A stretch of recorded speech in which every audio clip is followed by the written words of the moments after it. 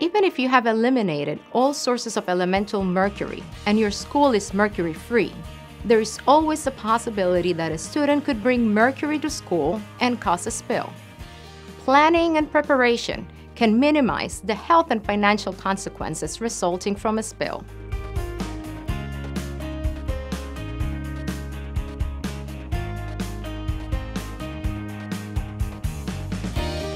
ATSDR's Don't Mess with Mercury website provides information and resources that can help you prepare for a spill by following these simple steps.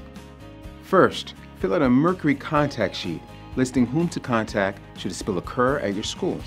Second, inventory mercury sources at your school. Consider using a school map to make notes and mark the locations of sources of mercury and mercury containing items. Obvious places to look include science classrooms and teaching labs, the school clinic or health room, custodian closets, locations where thermostats with mercury switches are located, HVAC and engineering rooms, and of course, everywhere there are fluorescent light bulbs. You may also use the inventory to take steps to control access to protect the sources from spillage and to inform school staff where these sources are located.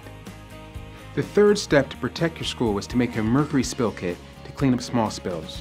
To make this spill kit, first collect the following items a box of gallon-sized zipper-top plastic bags, a one pint to quart sized plastic jar with a screw top lid, a box of large trash bags, 2 to 6 millimeters thick, a box of rubber, latex, or nitrile gloves, several pairs of rubber booties to wear over your shoes, one or two rolls of paper towels, several pieces of unbent cardboard, several pieces of paper, two eyedroppers, two rolls of duct tape, shaving cream, several small fine bristled brushes such as paintbrushes, a small dustpan, a bright flashlight, powdered sulfur or similar material, and a razor knife with a handle.